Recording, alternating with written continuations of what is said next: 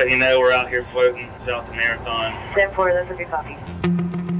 We're on the water I was going to run to the Haitian Sail Freighter real quick. with federal agents This target at the moment is a little over 16 nautical miles offshore. from Air and Marine Operations, Coming up.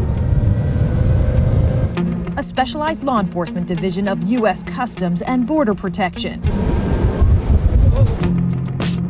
Their mission stop migrants from making it on land in the U.S. illegally. It's getting tough because it's it's a it's a numbers game. If Florida is a gateway into the country, the Florida Keys is a 180 mile long central hub where freedom seeking migrants, mostly from Cuba and Haiti, are often willing to do anything and risk everything to get here. I've seen uh, people that have shot themselves. I've seen people that have uh, tried to cut themselves. Marine Interdiction Agent John Apollony has been patrolling the waterways in the Keys Yeah, 829, 853. since 2009. The thought process is if I injure myself uh, enough that they'll have to take me to a hospital.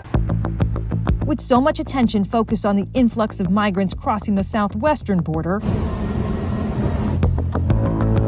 here in the southeast, Here on the ocean, totally different set of problems. the wave of migrant landings and seaside attempts are also on the rise. It's the most I've seen since I've been here. According to U.S. Customs and Border Protection, more than half of all migrant interdictions at sea in the U.S. are conducted by the Miami Air and Marine Branch, which includes the Florida Keys. This year, those units apprehended 139 migrants on water. For comparison, in 2021, that number was 54. Does something more need to be done to secure our borders? We have a finite number of agents and assets. So that being said, it, it does it get, does get tougher every day with the, the the more that come, the harder it is on us. To help control the surge, agents from borders around the country are now doing 30 day rotations here. This agent hails from the northern border in Michigan, Plotting a course to a possible target of interest, stopping people from entering the state illegally on water 33 and a half nautical miles west of us. begins with tracking them in the air. Once air crews spot suspicious boats, the Marine team in these high tech boats move in.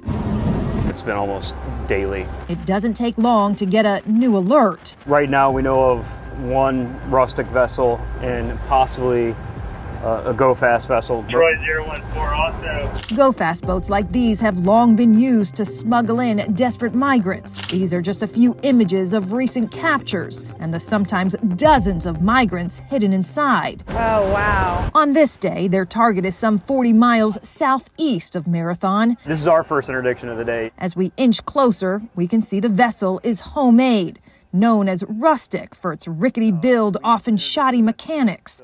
But it's packed with people, mostly men, a few women, all from Cuba. Are they typically repeat? So, yeah, I mean, we've found some that have been, once they run biometrics, that have been into the country before. Sometimes they even have Florida driver's licenses. So they'll make it here, they'll get some kind of status, and then they'll go back for one reason or another. With partners from the U.S. Coast Guard in tow, the group is given life jackets and quickly transferred to a federal vessel. We get the clear, it's safe to approach. How are you? ¿Cómo estás? They smile, some wave at our cameras, answer our questions, even take out phones to capture the moment. ¿Qué quieres de América? Why do you want to come here? In, in Cuba? Nada en Cuba. This group of migrants just told us they've been traveling on the water for eight days to try to make it to America from Cuba because there's nothing in Cuba. And they were just interdicted, which means Coast Guard's going, they're going to load up on the Coast Guard cutter and they're going to be sent back to Cuba. That's the chance they take. A closer look at their wood frame boat Jugs are for water or fuel. shows just how risky this week long journey was. The first interdiction of the day complete. Uh, everybody was safe. That's that's you know all you can hope for. And, And on to the next one. on to the next one. In the Florida Keys, Katie LeGrone for the Florida 24 Network.